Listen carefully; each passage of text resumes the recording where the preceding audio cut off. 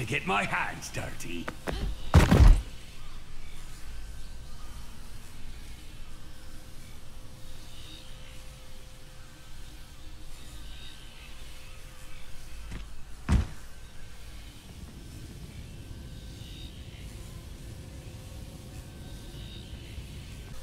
Much obliged.